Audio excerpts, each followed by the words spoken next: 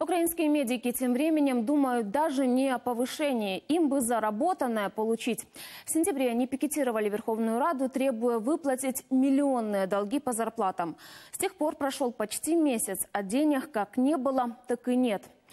Почему проблема не сдвинулась с места, выясняли наши корреспонденты. Лилия Пархоменко – старшая медсестра в Коломейской центральной райбольнице. В медицинской сфере проработала более 20 лет. Несмотря на стаж и опыт, получает чуть больше минимальной зарплаты – 3,5 тысячи гривен. Правда, даже эти деньги не выплачивают уже несколько месяцев. Ну, десь з початку весни почалися перебої, і ну, ну можна місяць взагалі не дати, півтора місяці, а потім старалися м, с- скільки могли, там стільки коштів кидали. Ну на даний момент вже по липень місяць заборгованість закрили, лишилося серпень і вересень. У женщины двое детей-студентов. Семья фактически держится на заработке мужа. Время от времени помогают родственники.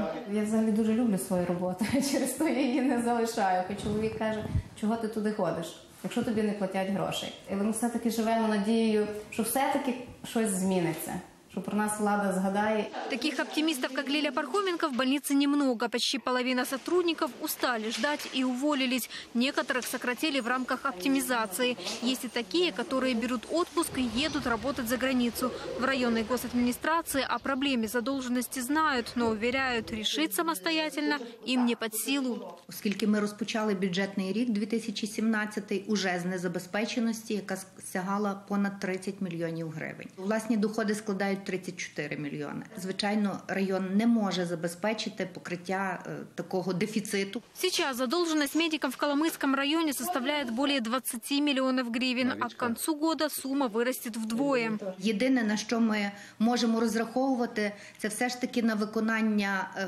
тих функцій, які має виконувати держава, і надходження коштів медичної субвенції, стабілізаційної дотації для покращення ситуації. Це буде 19-20 мільйонів. Но этой суммы не хватит, чтобы покрыть весь дефицит фонда заработной платы, ведь из этих денег Коломийский район получит только часть. Эту сумму разделят между всеми районами должниками. Сьогодні вона вже є заборгована заробітна плата.